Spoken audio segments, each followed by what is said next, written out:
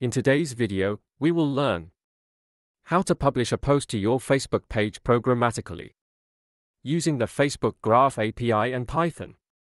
Facebook Graph API allows developers to interact with Facebook's platform using code. Prerequisites 1. Facebook developer account. You'll need to create a Facebook app to interact with the Graph API. 2. Facebook Page Access Token. This token will authorize your app to publish posts on your behalf. 3. Python installed. Of course, we'll be using Python to make API requests. To create a Facebook app, follow these steps. Step 1 Open developers.facebook.com. Step 2 Click Create App. Step 3 Select this option. Step 4 Select Other and click Next. Step 5 Select the app type.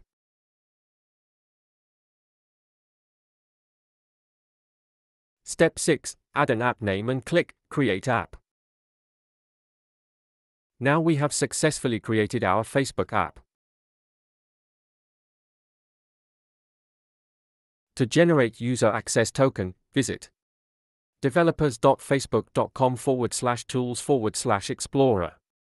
Follow these steps to create access token. Select your app.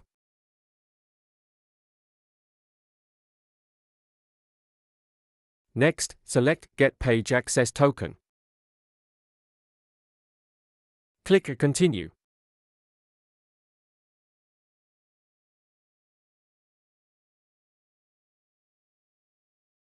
Select your page, click Continue, Save.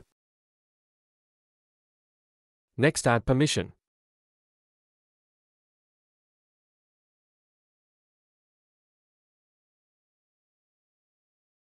Click Generate Access Token. To generate user access token and copy the access token. To use in code. The get underscore page underscore access underscore token function takes a page underscore ID and a user underscore access underscore token and makes a GET request to the Facebook Graph API to retrieve the page's access token. If successful, it returns the token.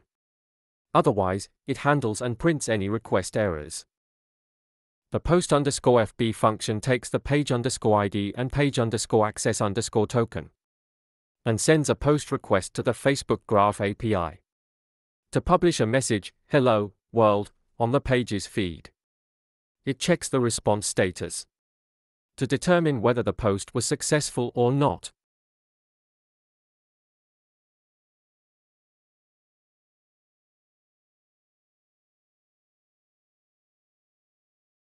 Paste your access token and your page ID in code. And run the code. To publish your post on Facebook page.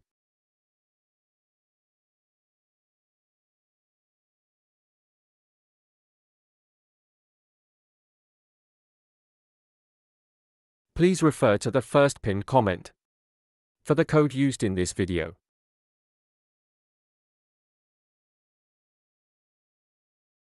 Thank you for watching. Don't forget to like and subscribe for more videos like this.